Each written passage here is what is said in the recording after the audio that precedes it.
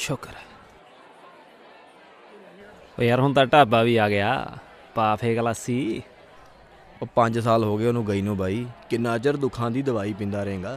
ਉਹ ਚੱਲ ਕੋਈ ਗੱਲ ਨਹੀਂ। ਪਾ ਦੇ ਅੱਜ ਫਿਰ ਇੱਕ ਵਾਰੀ। Yeah, this is Jesse Mahalo. With the Mall Brain. We're doing that big baby.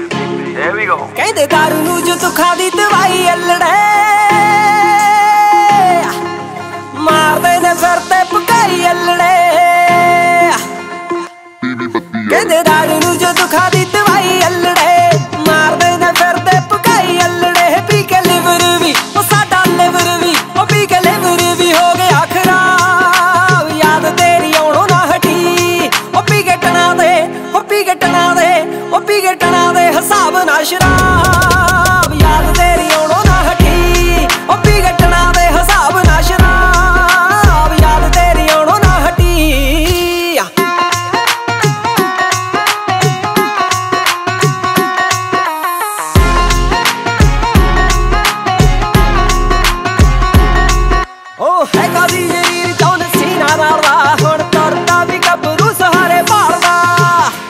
ਵੱਡਾ ਆ ਚੌਂਸਨਾ ਉਹ ਹੈਗਾ ਦੀ ਸ਼ਰੀਰ ਚੌਨ ਸੀਨਾ ਮਾਰਦਾ ਹੁਣ ਤੁਰਦਾ ਵੀ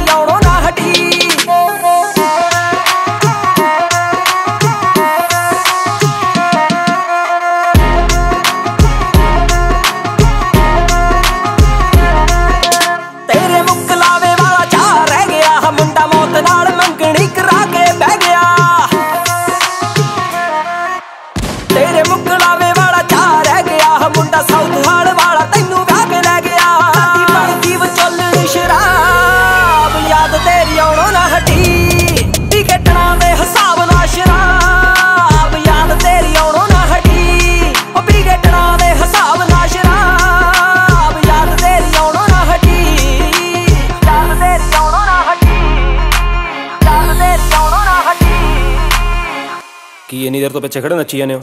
ਚਲੋ ਚਲੋ ਆ ਜਾਓ ਉਹਦੇ ਘਰ ਨੂੰ ਚਲੋ ਚਲੋ।